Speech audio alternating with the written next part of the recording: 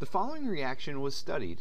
NO2 plus CO giving us NO plus CO2, and the rate law was determined to be rate equals K times the concentration of NO2, that quantity squared. Propose a mechanism for this reaction. In the previous video, we talked about criteria for mechanisms, and we mentioned that mechanisms are made up of elementary steps. These elementary steps have molecules coming together, and the name that we come up for for this is called molecularity. Okay? If one molecule is involved in a particular reaction, we call it unimolecular.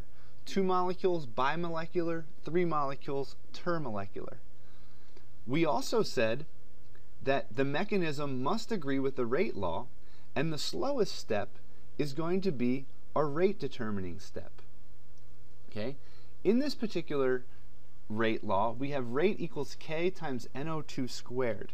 Okay, so in order to agree with the rate law, we have to have NO2 plus NO2 giving us various products.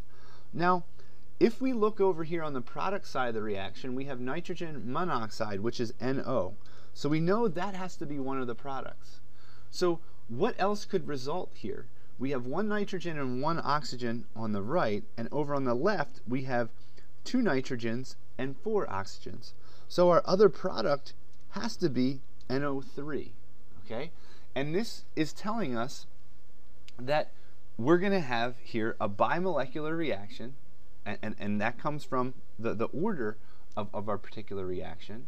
And this particular step here is going to be our rate determining step. Okay? Or we could say this is going to be our slow step of the reaction because this comes from our particular rate law. Okay? Now we know that on the reactant side, we're going to have CO present, so that has to come over here, right? And we also know that this overall equation down here has to be NO2 plus CO giving NO plus CO2. Okay, so that means that over here on the right hand side, we're going to need a CO2 molecule. And over here on the left hand side, we need to have an NO3 over here. So each of these cancel out. Okay? In terms of what that gives us over here, we have a nitrogen, four oxygens, and a carbon on the left, and we have a carbon and two oxygens on the right. So that means NO2 also has to be present as a product. Okay? So if we add these together, the NO3s here cancel out, and one of the NO2s cancels out with one of these NO2s over here to give us our overall reaction. So species that participate in elementary steps of a reaction but are not involved in the overall reaction are referred to as intermediates.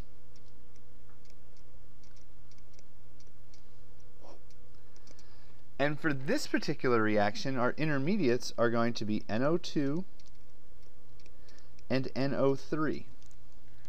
Okay? So let's see here if, if this particular proposed mechanism satisfies all three requirements. The first, the sum of the elementary steps must give the overall balanced equation. And when we add these steps together, we get NO2 plus CO giving us NO plus CO2, which is the reaction that was studied. So that maps out. The mechanism must agree with the experimentally determined rate law. Here we have a bimolecular uh, elementary step here that comes from the rate law. Okay, the rate law gives us our rate determining or slower step. two NO2s come together to give us an NO plus an NO3. This agrees with our rate law. So these guys check out right here. Okay? Then the slowest step is our rate determining step. We add everything up together. We introduce this term called intermediates.